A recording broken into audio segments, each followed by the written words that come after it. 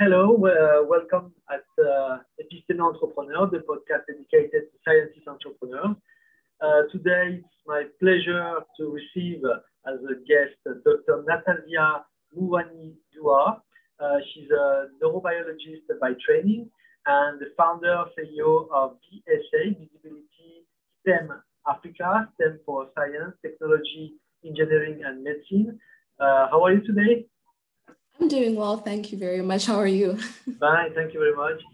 Um, thank you for being here with us today. Uh, we are very interested by your story and uh, your, your venture. So could you uh, present yourself in a more detail uh, and uh, yeah, absolutely. Okay, yeah, so thanks a lot. So yeah, my name is uh, Nathasia Muwanigwa. I'm originally from Zimbabwe. That's where I was born. Um, but I spent most of my childhood in Botswana actually, and then my high school years in Zimbabwe. Um, I did my undergraduate in Cyprus, where I got a bachelor's in human biology. After which I then moved to the Netherlands for my master, and I did a research master's in molecular mechanisms of disease. And now I'm in Luxembourg, currently a third year student, um, where I'm focusing on research.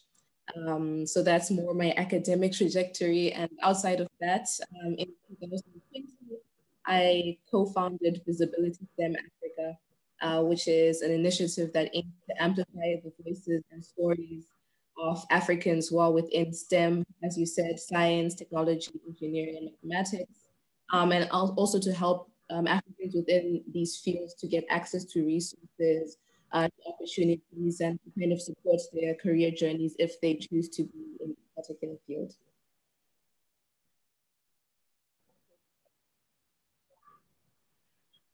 So, uh, Natalia, um, the, uh, first of all, um, VSA is a, is a startup or is it an association, non-profit association? So at the moment, it's it hasn't been registered yet. So technically, they startup slash association in, in, in progress. Um, so the idea is that uh, we want to register actually in Luxembourg as an association. Um, that's the okay. ultimate goal. Mm, good, good. So, um, and from uh, where this uh, the desire of launching an organization uh, emerged in your mind? Uh, uh, is it was it something that you had in mind at the first year of your of your university, or is it something that you emerged at the end of, uh, I don't know, your PhD or? Yeah, so it's an idea that I guess it really came um, to fruition probably during the first year of my PhD, but I think it was kind of due to the experience I had had up until that point. So, um, as I mentioned, you know, I did this bachelor's in Cyprus in biology, then this master's. Um, and of course i'm a i'm a black african and i was doing my studies in, in europe. And so because of that experience a lot of the times i was often the only african in the room the only black person in the room. And sometimes that really fed into my imposter syndrome because i didn't have a lot of role models from my background you know? So that made me feel quite insecure um, because doing scientific research isn't really something that's a viable career option where i'm from. Um, so with this in mind, when I started my PhD, I was by the time I did my PhD, I was a little bit more confident. But during my master's, I really went through a period of questioning myself um, and not really feeling seen and represented in, in the spaces that I was. That was kind of the context that then when I started my PhD, I got very engaged um, with actually with academic Twitter. So Twitter is actually a great place to meet other academics. I got very engaged in Twitter and I started finding different communities like Black in STEM, like women in STEM, neuroscientists, different communities, but there didn't seem to be a community for Africans specifically. Um, and I saw that was a, like a gap that existed. Um, so I just kind of got the idea like, hey, if this doesn't really exist, maybe I can be the one to, you know, create something uh, for for this particular community that I'm a part of. So that's really how it started as an idea. It was just being inspired by all these other organizations that existed and seeing that gap based off my own experiences. And I think what really then cemented it was my co-founder, whose name is also Natasha, coincidentally. um, it's actually quite a strange story. We were basically the same person, but we're not. Uh, we have the same name. We both lived in five countries. We both grew up in Botswana, but we didn't know each other at all. She's um, also a biologist, or she's, she's a scientist. She's doing she's doing a PhD. Her background was in biology, but now more digital health and physics. Um, but we're both doing PhDs. We're at the same kind of the same time of our PhDs as well. So it's a little bit like uh, crazy when you think about the coincidence. And we met via Twitter. She she saw a post that I put up. Actually, her partner saw a post I put up talking about myself in some shape or form. And he sent it to her saying, Hey, this person sounds so much like you. And she read it and she's like, Wow, no, she really does. So she just decided to spontaneously message me and say, Hey, I know this is random, but my name is also Natasha, and uh, I'm also doing a PhD, and I also grew up in Botswana. And I'm like, wow, that's that's wild. Um, and then I just, for whatever reason, just kind of told her um, about this idea to start some kind of community because she had expressed that she always wanted to give back to the community that she grew up in in Botswana, but didn't really have an avenue to do that. So I was like, hey, since you're interested in doing something like that, this is an idea I had. And then she was immediately like, okay, let's let's do it together. Like if you're interested, I have these particular expertise. I'm very good with digital stuff, with code, uh, with design, whereas I don't have any experience or much experience with those things. So she really then came in with the skill sets that I truly needed in order to start actually making this into something that was tangible. So that was kind of just how it happened. It was quite a bit of like random, just chance, you know, meeting somebody online, and she's in Australia, by the way. So we've never met still up until this point, but we've been working together for over a year now. So it's pretty, pretty incredible. And uh, how long do you operate right now with the, with the VSA? Sorry? Uh, how many times, uh, uh what is the date of foundation of VSA? What is the, sorry, I'm, I'm not quite hearing you well. Yeah, sorry, what is, uh, what is the date, the date of the foundation of the foundation of The state of the foundation? Yeah. In terms of how we're how we're running it or yes yes exactly how many how many times are you running uh, the this adventure yeah, so we've been running it, technically we've been running it since uh, January of 2020. And essentially the the way it works or what how it worked in the beginning was my co-founder and I uh, we wanted to be able to share stories of people and kind of create a platform where Africans in STEM can connect and find each other. And also our website could act as a resource. What we did is we found Africans in STEM to profile, um, to talk about their journeys. Um, so we would reach out to people, curate the information, and put it on our website. Um, and beyond that, besides just the stories, we also um, would curate the page for opportunities, which is stuff like scholarships, fellowships, mentorship opportunities, um, as well as um, a page for a blog. That's how it kind of started. So that was just between my co-founder and I. But over time, because we actually got a lot of traffic on our website, a lot of people who were interested in what we were doing, um, we ended up getting requests for we, we became kind of like a hub that connects people or organizations uh, to other people organizations. So for example, if you're looking specifically for a Nigerian in astrophysics, we tend to have a connection who can probably find us that specific person. So we've kind of become like a, yeah, like um, kind of like these these companies that can, can recruit people, um, so to speak and then we started also doing events as well. So we started doing, um, we had like a mental health campaign, for example, we got people to present and talk about mental health, uh, particularly as it pertains to Africans.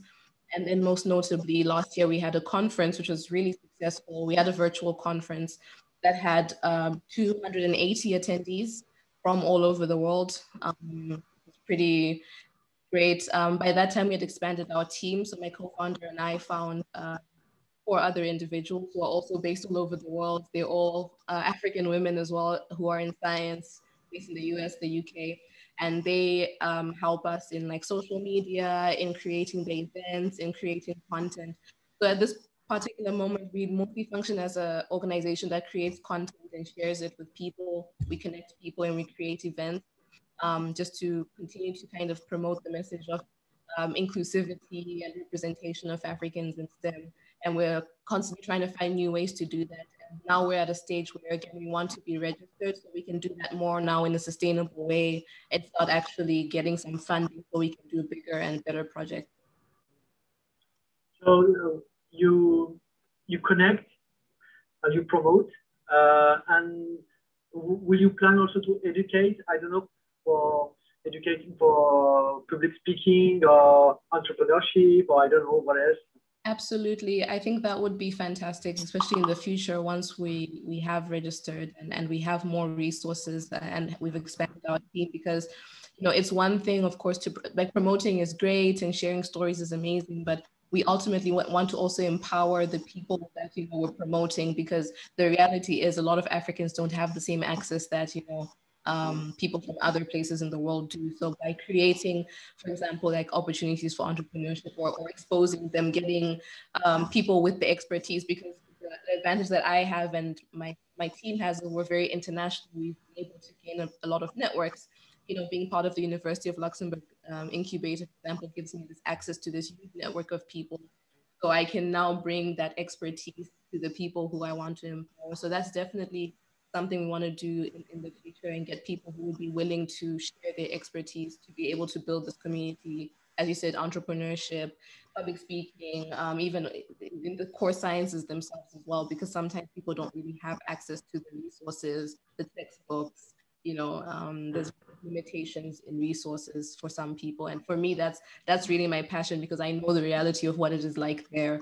And uh, you know i was fortunate enough to have a lot of opportunities and to come to europe and have this amazing education. Not everyone will have that same opportunity but some are just as brilliant uh, or, or more you know. So uh, we want to just make things more equitable as far as we can.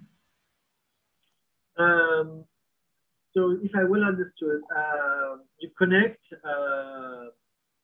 African scientists all around the world or, or uh, to, to your organization so they can connect, network, and promote, etc.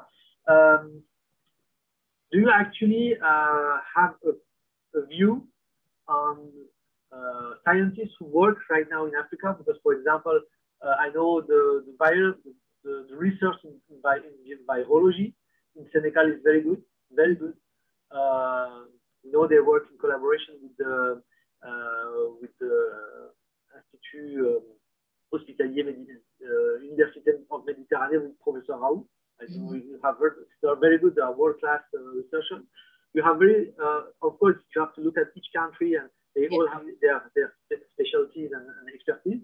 Uh, do you have, uh, do you tend your mic to, to the scientists who work right now in, in Africa? Yeah, absolutely. Um, we try our best, really, first of all, when we promote the profiles, to have a balance between Africans on the continent and those abroad, because we also don't want to perpetuate the narrative that to be a successful scientist, you have to leave the continent. You know, that's not the point. In, fact, we actually want people to go back and be able to, you know, bring back the skills that they gain outside back. So we do have a couple of um, people um, who are actually doing great work. We actually have two people in our community who, who have founded biotechnology institutes one is in Zimbabwe, mm-hmm. um, and the Biotech Institute actually this year, and they're um, they're doing things with you know um, genome editing to try and create like drought resistant crops and such, doing different diagnostics, using different research tools and and and um, technological tools to like improve wastewater treatment, and these kinds of things. Um, and then there's another um, gentleman who's in, in Ghana, and they have a biotech institute for um, cancer, so cancer research um, and such. So we, we're really trying to strengthen these kinds of relationships. Um, actually, both of these people spoke at our at our um, conference last year, which was great. and just maintain these relationships with them because ultimately, also if somebody's interested in these fields, and it's great to know that there is research actually being doing being done on the ground that they can have access to um, so I think it's really important also for the worldwide community to also be aware of the fact that there are research institutes in, in Africa that are also doing relevant work because I think you know in science collaboration is key, right? Um, so I think by by amplifying what they're doing and just basically we're just acting like a loudspeaker, like they're already doing amazing work, but sometimes people aren't so great at communicating this, you know, um, on a large scale. So we kind of help people be able to share their stories on a wider scale and hopefully this will ultimately you know facilitate eventually more collaborations more you know people wanting to even fund research in africa because they see the value um, in that there's also uh, uh, another uh, action that could be very interesting is uh, you know uh, endemic uh, plants and molecules that we can find endemic plants mm. in africa because you have fantastic um, uh, particularity for, for the for the environmental uh, conditions. Just like you know, yeah, there is uh, actually uh, you have a collaboration with the, with, the, with Brazil and other South American countries for to finding endemic plant and you know searching for very rare uh, molecule that could be used yeah. for pharmaceutical. Uh, is there something like that with the, with the, with the, with the African countries? You know, that's actually a great question. To the best of my knowledge, I haven't come across one yet, but I'm pretty sure if um, you know, as as time goes on, we meet more people, we'll probably find some. And if there isn't, then I hope someone starts because, as you said, you know, a lot of natural resources. On it's a it's a continent, you know, there's so many natural resources, and I think there is sometimes some validity to you know even some some of the plants and herbs that have been used, you know, in traditional medicine, where sometimes maybe the molecular mechanism is entirely understood. So we kind of need to start to better, you know, understand, okay, why does this herb actually work for this? There probably is some, you know, um, some validity in that. Um, but that's something I haven't um, come across yet, but I'm, I'm sure as time goes on, because of course we've met so many different people from all over the continent every day. I'm, and I really, that's one thing I personally love about the work that we get to do is getting to read all the amazing work and the stories because so much people are doing such interesting stories. Exactly. Yes, it's endless. Uh, you have an endless source of stories uh, to share and to. Exactly. It's so inspiring, you know, and people have gone through all sorts of hoops and had to jump all sorts of, you know, things, but the, what they've been able to do sometimes with such little resources is also so impressive. So for me, it's one of the like the best things about what I get to do is reading all these stories and getting inspired and trying to find connection They've even been there's a, there's an organization that was actually birthed some sort of through the fact that our organization existed. Somebody who was part of our community met someone through our platform, and they decided to create their own organization that specifically focuses on empowering women um, in Ghana to get into STEM and stuff. So for us, when we get that feedback that, hey, you inspired us to start this thing and I got to meet people through the platform, those are exactly the kinds of relationships we're hoping platform can, can facilitate. Uh, Africa is also uh, very interesting in terms of marine biology. Yeah, that's true. Uh, I, I think I, you, can find many, many new things by exploring just, you know, the, the coastal uh, water and uh, animals and uh, vegetables and vegetables and many, many, many, many resources to explore and to, to discover. Yeah, absolutely. And we're lucky we already have quite a few people who are in marine biology, oceanography, Africa. There's a couple of people from uh, Mauritius as well who are now part of a community really doing a lot of work in, in that in that regard. So what we're actually hoping to do, um, also in collaboration with another initiative, Africans in STEM, um, it's based in it's kind of a stu- student association, but I think they're kind of becoming their own entity in Cambridge. Um, and we want to do a, networking event later on this year where we actually bring people in similar fields where Africans in STEM to bring all the marine, you know, ocean biology in one one Zoom room, bring the virologists, you know, um, and kind of get them to start talking because I think a lot of like interesting projects or ideas and connections can be formed.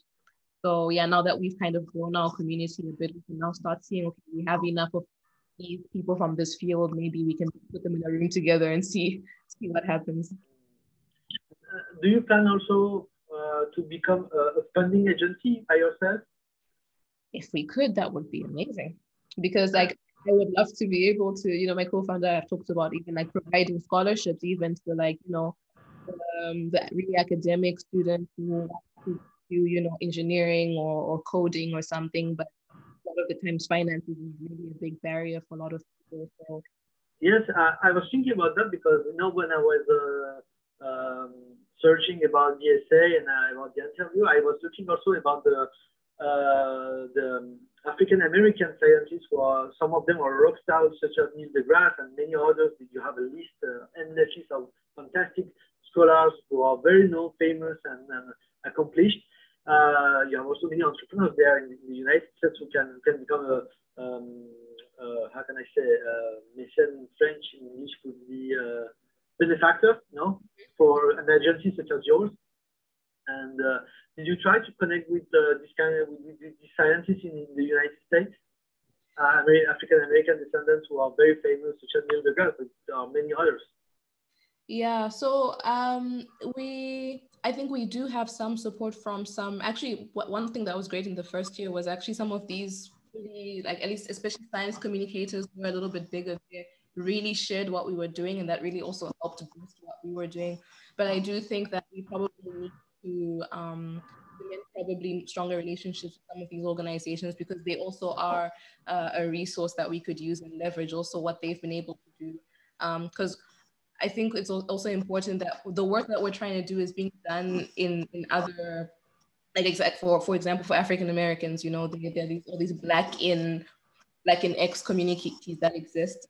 Um, and actually we're, for example, now creating a collaboration with uh, Black in Neuro, which is Black in Neuroscience, which really was successful last year. They started last year, you know, when the pandemic happened and everyone was at home. A lot of these organizations started and they really had a lot of success in in creating their organization and they got a lot of sponsorship um, from different like um, STEM like companies and, and biotechs and such. And they approached us saying, okay, we we want to also see how we can help Africa specifically because of course like African Americans and Africans have a lot of shared experience, but also a lot of different experiences and sometimes different barriers and such. But if we work together, then we can probably achieve more than you know working in a fragmented way I think VSA we're very much we very much believe in collaboration. Like we're not trying to to you know be the one who does everything because we see that a lot of people are doing amazing things. So if we can bring all these people together and work with them and form good relationships, we think that actually ultimately will benefit everyone at the end of the day. So, uh, maybe we could talk about a little bit about how uh, the University of Luxembourg with its program uh, the entrepreneurship program or the incubator or both have helped you to to bring this idea to, to life? Yeah, absolutely. So it's I'm really grateful to the to the program, to to and the whole team. They've really been supportive. Um, interestingly, I joined the innovation camp um, program that they have at the beginning of last year. It was just before the pandemic, thank goodness. So I got to have the the actual in person event. Um, and the ideation camp, you know, it's this three day intensive thing. You're just thrown in a room with a bunch of people you've never met, and you need to come up with a business idea and, you know, actually think it through like, how will this be sustainable? What's your business model? What are you actually, you know, um, creating? So I participated in that. And um, through that experience, um, that's when I actually realized, you know, the opportunities that were offered at the incubator. I got to meet a lot of, you know, even people within the Luxembourg ecosystem, in the business ecosystem. And um, I actually found um, the person who I then asked to become my mentor due to that um, uh, event. So um, my mentor was was a mentor during the event. So he was someone I really gelled with. I really liked the way he, he thought and the way he probed questions and such. So I just approached him after the event and said, "Hey, I have this idea that I'm doing. Uh, would you like to be a mentor?" And he was super enthusiastic. So yeah, shout out to Philip Grother. He's really great. Um, but then, so from from there, then after I also approached Pranjal and I said, um, I have this idea of visibility STEM we have already launched, but we really would like some support. You know, having the backing of the university incubator would be very helpful. Um, and also the structure of the entrepreneurship program as well, because, you know, they can really help you formulate where are you really as an initiative, where do you need to be? And then they provide, you know, the different um, they can provide mentors who can help you at the particular stage that you are. And also i think as a as kind of an accountability partner right? Because of course um both my co-founder and i are doing a phd so um, there is that level of you know trying to prioritize how to do the phd and then do this extracurricular thing. So having some something that keeps you accountable you know the, the the program it really keeps you kind of focused and know what you need to do so we officially joined the um, entrepreneurship program. I think it was about June, about this time last year. Um, and we were provided with mentors who, you know, were really helping us try and iron out the kinks that we have at the moment with what we're trying to do, actually really figure out what are we actually trying to do? How can we make it sustainable? What are the legal implications? You know, all these things because we are scientists. I'm a neurobiologist. You know, now I'm getting into completely different. You know, which I love. For me, I think it's amazing because now I'm learning so many other skills maybe I probably would not learn solely from doing my PhD. You know, um, that's great. So the, the, the, support and the mentorship. you know, they always have events as well um, about finance, about you know pitching and all these things. So I think just the amount of resources that they pump into us is amazing, but also the way that they believe in and you know whatever I like suggest to Pranjal, he's like, yes, we can do it. You know, the, the enthusiasm because sometimes you just need that yes, somebody to just believe that what you're doing you know it's it's it's something of value and something that can be something you know sometimes that's the push that you need so i'm so grateful and you know we we we have an office there and stuff which allows us to have an address and all these things and um, you know that would have been so much more difficult for me to try and find some office space but they provide that for us as well so i think that it's such a it's an amazing thing that they have i think um, i'm really really grateful i think many of the startups would probably agree with me that just having having access to this and the caliber of people we have access to is incredible. It's just it's just such a such a great thing. Very very nice to hear. Um, so what's the future for you? Is it to completely uh, commit for the development of VSA, or will you continue your scientific career because you are working on a very hot topic subject? Uh, so just for the audience, I will remind what you do.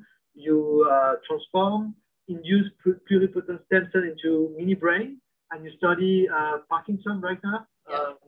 How uh, we can uh, the, the, biology of Parkinson, the physiopathology of Parkinson in this uh, mini brain in culture. So it's a very hot topic subject, and this can open you, of course, a lot of doors. So what's the future for you? That is a great question. you know, it's it's a tough one because I have to say I really love both of the things quite quite a lot. You know, I'm I really I'm I'm very ha- happy that I ended up in Luxembourg to do my PhD. It's been a very positive experience. I know PhDs can go in so many different directions. Very grateful that mine has gone in the positive direction. And I'm in my third year now, and I'm still smiling. So I think that's a that's a good sign. Um, to be honest, at the moment, um, I have to say I I I'm just focused on okay. I need to finish my PhD because I'm in my PhD right now. Um, and in the meantime, you know, we're, we're growing Visibility STEM Africa in kind of a steady way. You know, I'm not trying to do too much too fast because I also understand that I have to be practical about how I do things because I have the limitation of I am a full-time Sure. So it's really like what, what my co-founder and I really were trying to be strategic in our timelines, like what can we actually achieve in the next two years? And in two years time, when we're at this place, I think we can make a more solid decision whether we continue the way we're doing now, like we continue the postdoc and, you know, we just expand our team so that of course we can be leaders and the ones kind of know, overhead, but we have people who are doing the day-to-day taking care of it because I think this initiative is bigger than me or my co-founder. It's something that is very community driven.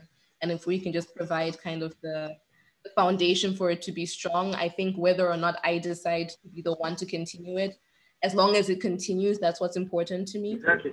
It can, it can, it can continue by itself as a, as a professional organization. Exactly. So for me, that's what I want to just make sure that we create that foundation, um, regardless of whether I am the one to continue it or not, should be, you know, it's it, it'll be besides the point. That will really be now a more personal decision based off where I am in March 2023 when I have my defense. Um, but it'll always be a passion project for me. Like this is again, you know, sometimes people do things because, you know, want to make money and all these things, and that's great. And, you know, money, you know, it's important. But for me, because of my background and because I know how many people this can touch, it will always be something I'm invested in. And I think I'll always somehow be working to make sure that people from where I'm from have better access to opportunities and can can do what I'm doing, basically. You know? um, and I'll, I'll always make sure I find ways to do that, um, whether I'm inside or outside academia. Uh, just another question about the VSA and the African connection. Is there any um, uh, interest or, or, how can I say from the local uh, African government, you know, to, to, to see what you do as a scientist around the world and see, guys, uh, now you have PhD or postdoc. Uh, we are very interested in what you do. To, is there something like that for, for you? Or, um, depends on the country, of course. There's some country for, for, for which the science is very important, for those less, etc. Yeah, it's a very like like you just said, it's a very country specific thing for sure.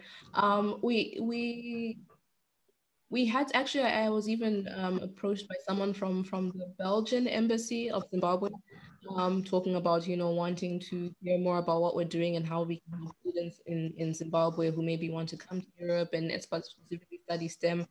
Um, but I think that's that's also once once we've registered, that's something we want to more actively engage in because the reality is, I think a lot of the barriers and issues kind of come from the top in a lot of countries in Africa. You know, um, the same everywhere. anywhere really. Um, and if we want to start to really change things, we need government support. You know, we need them to see the importance of why we're even doing this in the first place, why it's actually beneficial for them, because it, it is beneficial for governments to invest in the amount of, you know, development that will occur. And the truth is Africa has so much untapped talent and a lot of untapped resources. So this feels like it's actually the best time to really be investing in, in STEM professionals, people who can code and people who have the, um, the kind of mindset of, you know, being able to follow the scientific process in order to address challenges, you know. Um, when we often when we're like presenting visibility STEM um, to to people and trying to make people aware why this is an issue, you know, one of the things we have is uh, a stat that I, that we found that um, Africa has 16 about 16.7% of the world population, but con- contributes less than 1% of the global research output. You know, that, that, that's, that stat is alarming in and of itself, right? And these, um, this global research um, effort, it's important for development. You know, a lot of places don't have like clean running water, electricity issues, climate change is the reality everywhere. So I think we need governments to actually sit down and be like, okay, this is an important thing and we need we need these professionals because they're losing a lot of them abroad. Like most of us, most of my friends who did what I'm doing, they left the country, you know, they left Zimbabwe, which is not a good thing. So how can we, you know, engage them and real make them realize, okay, we need to make sure that these people feel valued and they're getting, you know, the appropriate amount of pay. And of course, there's a lot that goes behind that. It's not a, it's not an easy thing, but we have to start somewhere.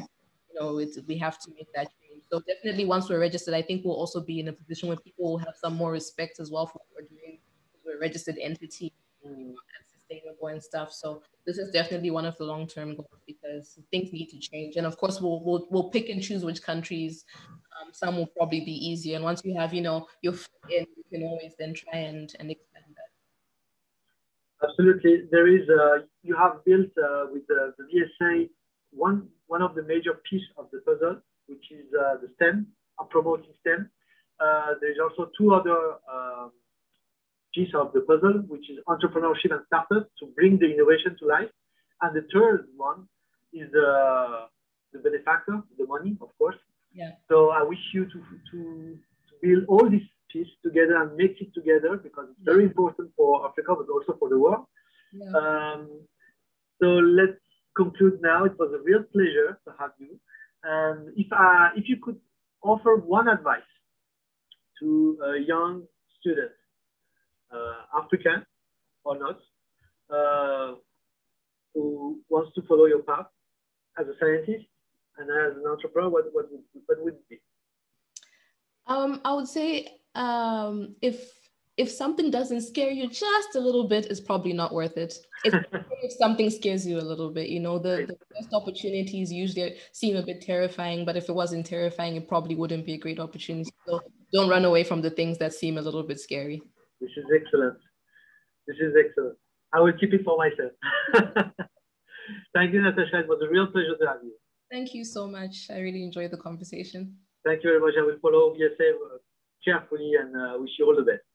Thank you so much. Bye.